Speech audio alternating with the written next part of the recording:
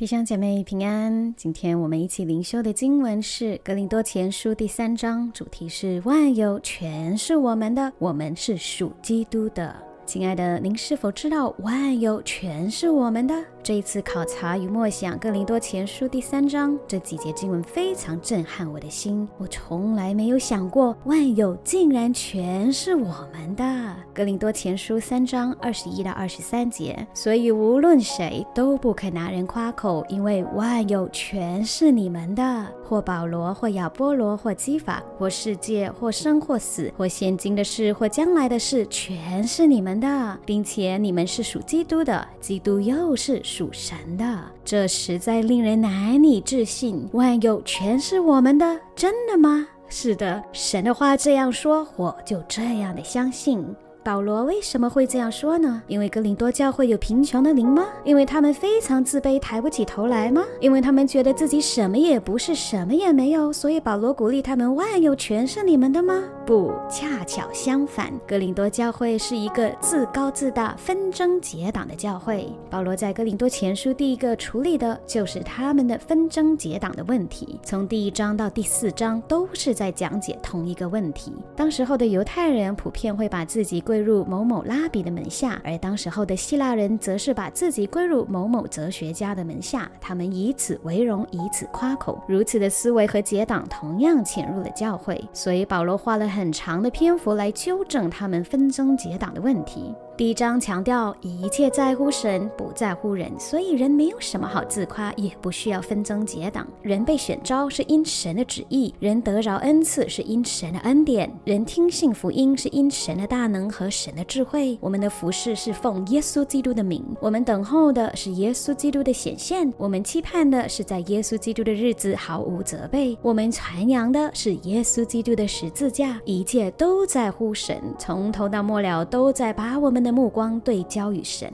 第二章强调服饰是按照圣灵和大能的明证，叫人的信只在乎神的大能，不在乎人的智慧。所以人没有什么好自夸，也不需要纷争结党。世界所夸口的是希腊文化和哲学思想所看重的辩论和口才，他们认为基督的福音是愚拙。但我们所传讲的真智慧，乃是从前所隐藏神奥秘的智慧，就是神在万事以前预定使我们得荣耀的。当参透万事的圣灵向我们开启，我们就。就得以明白神的奥秘。第三章这里强调服饰的果效全在于神，是神所赐的恩赐和能力，是神叫信徒成长，是神的田地，是神的房屋，是神的殿。我们只是与神同工的仆人，所以没有什么好自夸，也不需要纷争结党。不但如此，万有全属于教会，因为教会是属于基督的，这是普世教会在基督里的身份和地位。第四章还是在处理同一个问题，我们就留到。那明天再来详细查考。今天从上下文来看，你是否会纳闷保罗为什么对一个自高自大、纷争结党的教会说万有全是你们的？他们已经那么骄傲自大了，还告诉他们万有全是他们的，岂不是让他们更骄傲、更有优越感吗？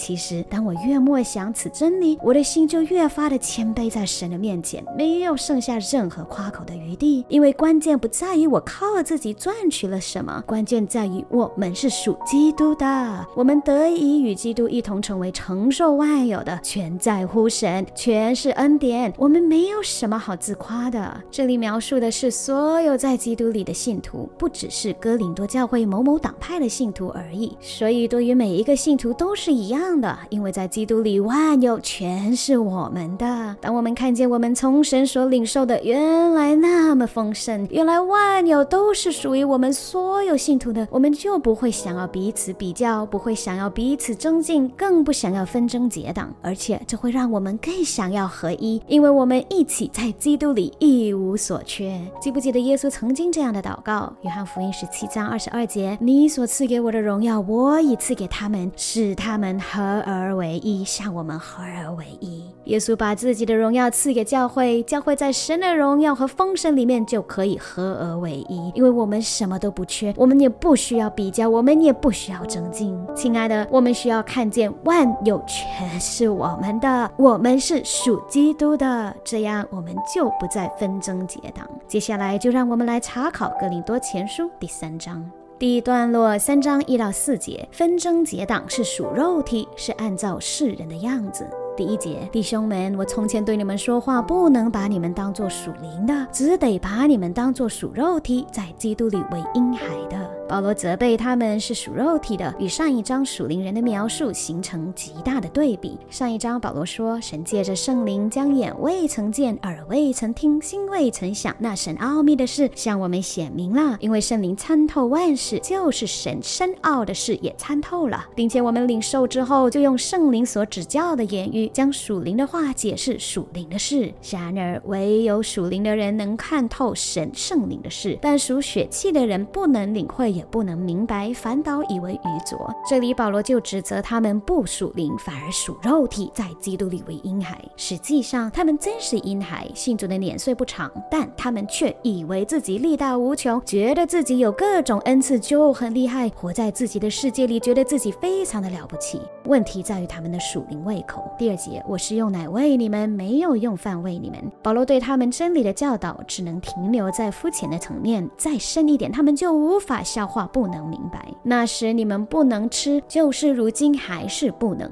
过去听不进去，现在还是无法理解，因为他们没有成长，只喝灵奶不吃干粮，不愿意下功夫考察圣经，只是挑选合自己胃口、容易消化的经文，不好听或不容易懂的经文就撇在一边。这样的人生命就不可能成长，更不可能改变。他们的属灵胃口局限了保罗对他们的教导，也局限了他们自己生命的成长。从他们的言行举止就看得出来。第三节，你们人是属肉体的，因为在你们中间有。嫉妒纷争，这岂不是属乎肉体，照着世人的样子行吗？他们虽然是蒙恩得救的信徒，但他们行出来的与世人没有区别。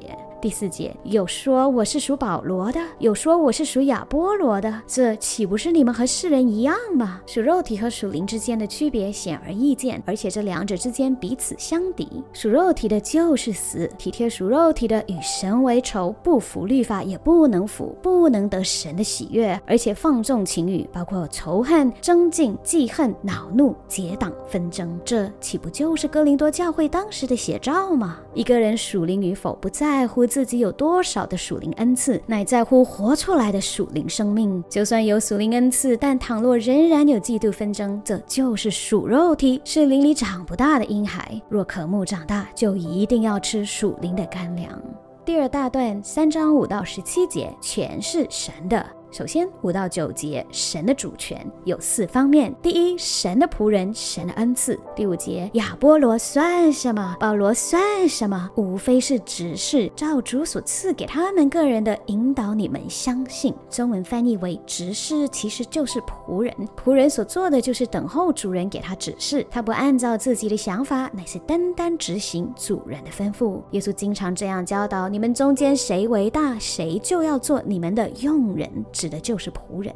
第二六到七节，神叫他生长。保罗说他栽种了，因为是他开拓并建立的哥林多教会。亚波罗浇灌了。只在保罗之后，亚波罗来到他们当中，继续传讲神的真理，教导他们。俩人所做的并没有彼此的冲突，而且带下生命改变和成长的不是保罗，也不是亚波罗，唯有神叫他生长。这样看来，第七节可见栽种的算不得什么，浇灌的也算不得什么，只在那叫他生长的神。阿门。这里重复了两次，是神叫他们生长，所以重点在乎神。亲爱的，我们千万不要忽略了。神只定睛在人的努力和摆上，当人把焦点放错了地方，就会导致纷争结党。第三，神的奖赏。第八节，栽种的和浇灌的都是一样。只出于一 R one，虽然服饰的细节和内容不太一样，但我们都是一起的，是合一的。虽然神可以使无变有，说有就有，命立就立，但神选择使用我们与他同工，所以神的仆人很重要。神也看重他们的摆上，并且神必亲自报答奖赏他们。保罗继续说：“但将来个人要照自己的功夫得自己的赏赐。我们每一个人将来都要照我们所做的来到神的面前，从神那里。”得着自己的奖赏，其中包括我们服侍的奖赏，如同仆人从主人的酬劳一样。第四，神的同工，神的田地，神的房屋。第九节，因为我们是与神同工的，无论是保罗，无论是亚波罗，或是今天的牧师、圣经老师、区长、组长等等，虽然做不一样的服饰，但我们都是与神同工的。想象团队里如果有一位超级达人，什么都会，我们一定会觉得自己沾光了。实际上，我们的服饰就是如此，我们是神的 collaborators，我们与神一起同工，可以说我们暂停便宜了，因为神什么都会，而且他也非常乐意分配工作给我们，教导我们如何去执行，加添我们能力，帮助我们去完成。我们与神同工做什么呢？建造圣徒。保罗说：“你们是神所耕种的田地，所建造的房屋。”原文是说：“你们是神的田地，神的房屋。田地和房屋都是属于神的，我们是耕种和建造的工人。我们栽种和浇灌，但是教会成长的是神。我们有份参与在其中，但生长与否是在乎神，不是我们。不要以为教会不成长全是我们的问题，也不要以为教会成长就全是我们的功劳。重点在于所建造的信徒是属于神的，因为是神的田地、神的房屋，而我们只是神身边的小帮手而已。接下来我们看十到十七节，人的建造。这一章保罗使用两个他们非常熟悉的比喻，上半段是田地的比喻。田地需要工人来撒种和浇灌。下半段是房屋的比喻，同样，房屋需要工人立根基，也需要工人在根基上建造。身为神的建造工人，我们分工合作，同心建造，使用金火试验仍然能够存留的金银宝石为建造的材料。第十节，我知道神所给我的恩，好像一个聪明的工头，as a wise master builder，立好了根基，有别人在上面建造。再次强调，按着神的恩典，保罗立了哥林多教会。的根基，按照神的恩典，亚波罗和其他人继续服侍、教导并建造他们。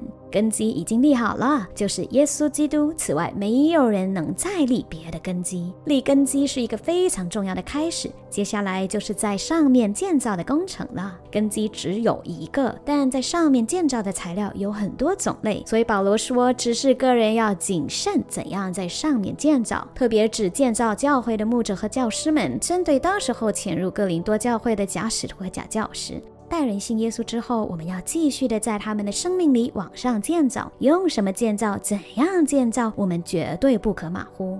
第十二到十三节，若有人用金银宝石、草木和接在这根基上建造，个人的工程必然显露，因为那日子要将它表明出来。有火发现，这火要试验个人的工程怎样。这里描述了两种工程，而这两种工程的区别，从建造的过程到产品的品质都非常的不一样。第一，金银宝石的工程需要花时间付代价，建好的房屋又坚固又牢靠。第二，草木合接的工程不需要花时间，不需要付代价，风平浪静的时候还是挺不错的。一旦风吹雨打，恐怕就转眼成空。亲爱的，您是否愿意花时间付代价，用金银宝石来建造教会、建造圣徒的生命，还是得过且过，轻轻松松用草木合接一下就完工了？金银宝石的建造，就是指神纯正的真理，按照神的旨意、神的大能、神的圣灵、神的方式来建造，就算经过火焰般的试炼，也不会烧毁。无论是日常的困难和挑战，或是末世的大灾难，信徒的生命若是按照从神而来的真材实料建造的，就必站立得稳。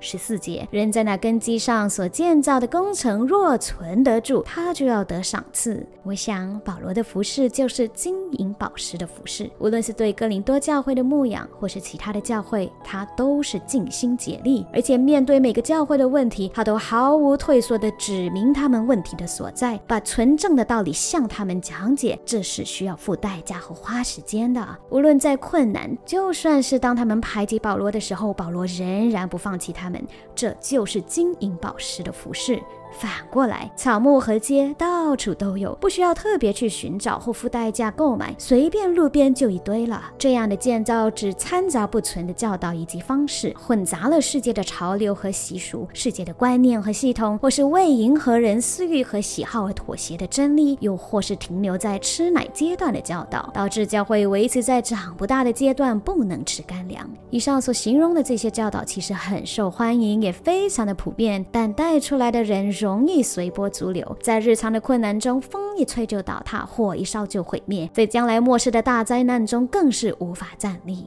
第十五节，人的工程若被烧了，他就要受亏损，自己却要得救。虽然得救乃像从火里经过的一样，灵魂是得救的，仍然能进入永生，因为得救是本乎恩，也因着信。但是所做的功毁了，就不会有从神而来的奖赏。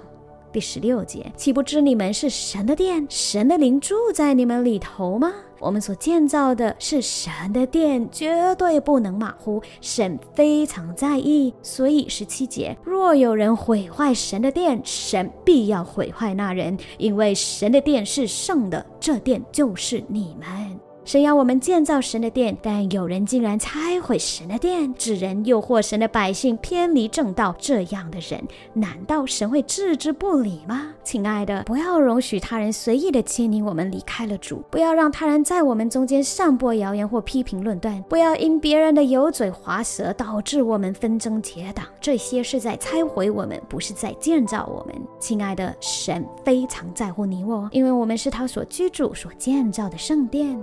第三段落十八到二十三节全是教会的。回到今天的主题，万物全是我们的，我们是属基督的。十八节，人不可自欺。你们中间若有人在这世界自以为有智慧，倒不如变作愚拙，好成为有智慧的。其实很多人活在自欺里。保罗劝勉说，不要被希腊哲学所推崇的世俗智慧蒙蔽了我们。他们讲究口才和辩论，我们千万不要陷入在其中自欺欺人。宁可成为世界看为愚拙的，也要得着从神而来的真智慧。十九节，因着世界的智慧，再审看是愚拙。如经上记着说，主教有智慧的中了自己的诡计。自以为的聪明，却绊倒了自己。二十节又说，主知道智慧人的意念是虚妄的，意思就是空的，什么都没有，什么也不是。即使如此，为何还要浪费我们的生命来追求世界的智慧呢？保罗说，二十一节，所以无论谁都不可拿人夸口，因为万有全是你们的。保罗也如此对罗马教会说，罗马书八章三十二节，神既不爱惜自己的儿子，为我们众人舍了，岂不也把万物和他一同白白的赐给我们吗？